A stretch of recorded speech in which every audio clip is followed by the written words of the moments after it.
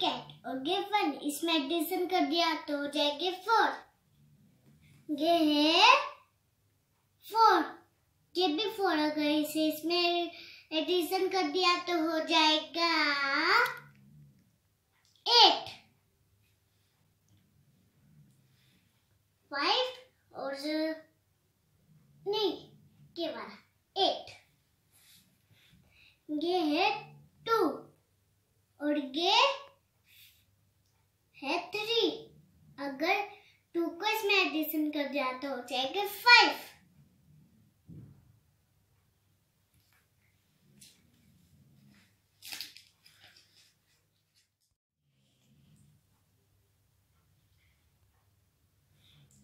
To cat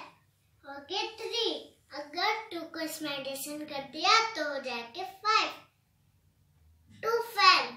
three fan two का अगर इसमें एडिशन कर दिया तो हो जाएगी five two apple two apple two apple को इसमें कर देंगे तो हो जाएँगे फोर अब हम इसे लिखने वाले हैं।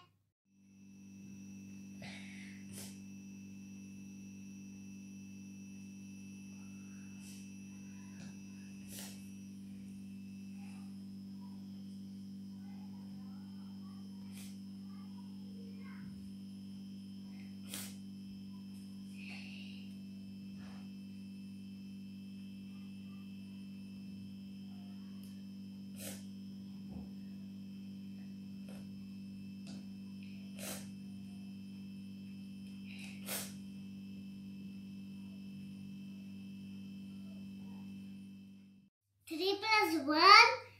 अगर इस कैट में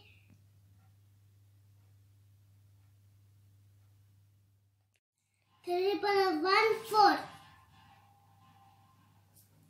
four plus four eight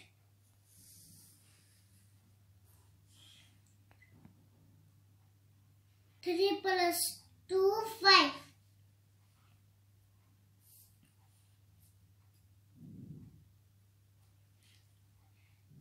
3 plus 2, 5. 3 plus 2, 5.